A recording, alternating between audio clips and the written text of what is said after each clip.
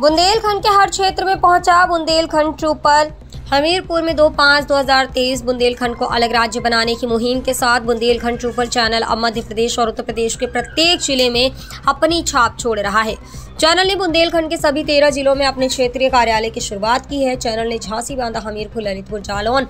महोबा, चित्रकूट, दतिया, सागर, छतरपुर, टीकमगढ़, दमोह और पन्ना जिलों में अपने प्रतिनिधियों की नियुक्ति की है। इसके बाद चैनल के माध्यम से प्रत्येक ज़िले की मूलभूत समस्याएँ और ज़रूरी पहलुओं पर विशिष्ट जानकारी